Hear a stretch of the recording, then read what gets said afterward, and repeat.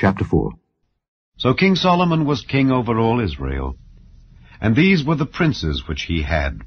Azariah the son of Zadok the priest, Elihoreph and Ahiah the sons of Shisha, scribes, Jehoshaphat the son of Ahilud, the recorder, and Benaiah the son of Jehoiada was over the host, and Zadok and Abiathar were the priests. And Azariah the son of Nathan was over the officers, and Zabud the son of Nathan was principal officer and the king's friend. And Ahishar was over the household, and Adoniram the son of Abda was over the tribute. And Solomon had twelve officers over all Israel, which provided victuals for the king and his household. Each man his month in a year made provision. And these are their names.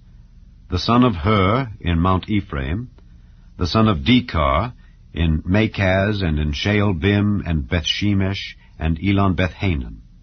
The son of Hesed in Aruboth, to him pertained Sochoh and all the land of Hepher. The son of Abinadab in all the region of Dor, which had Taphath the daughter of Solomon to wife. Baanah the son of Ahilud, to him pertained Taanach and Megiddo, and all Bethshean, which is by Zartanah beneath Jezreel, from Bethshean to Abel Meholah, even unto the place that is beyond Jokneam.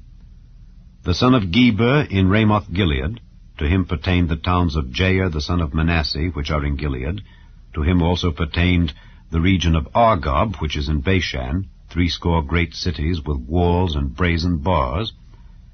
Ahinadab the son of Iddo had Mahanaim. Ahimaaz was in Naphtali. He also took Basmath, the daughter of Solomon, to wife. Baanah the son of Hushai was in Asher and in Aloth, Jehoshaphat the son of Paruah in Issachar, Shimei the son of Elah in Benjamin, Geber the son of Uri was in the country of Gilead and the country of Sihon king of the Amorites and of Og king of Bashan, and he was the only officer which was in the land. Judah and Israel were many, as the sand which is by the sea in multitude, eating and drinking and making merry. And Solomon reigned over all kingdoms, from the river unto the land of the Philistines, and unto the border of Egypt. They brought presents, and served Solomon all the days of his life.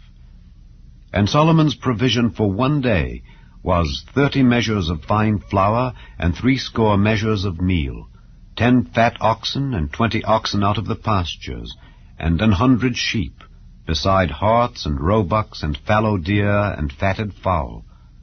For he had dominion over all the region on this side the river, from Tiphsah even to Azzah, over all the kings on this side the river, and he had peace on all sides round about him.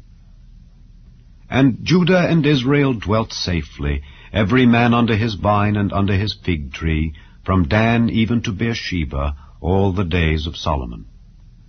And Solomon had forty thousand stalls of horses for his chariots, and twelve thousand horsemen.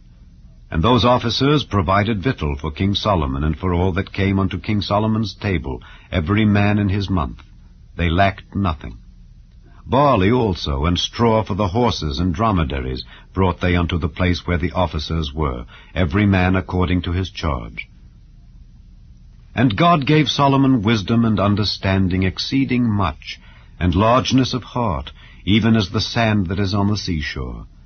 And Solomon's wisdom excelled the wisdom of all the children of the east country, and all the wisdom of Egypt. For he was wiser than all men, than Ethan the Ezrahite, and Heman, and Chalcol, and Darda, the sons of Mahol.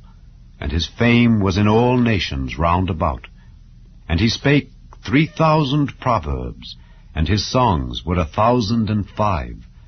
And he spake of trees, from the cedar tree that is in Lebanon, even unto the hyssop that springeth out of the wall. He spake also of beasts, and of fowl, and of creeping things, and of fishes. And there came of all people to hear the wisdom of Solomon, from all kings of the earth which had heard of his wisdom.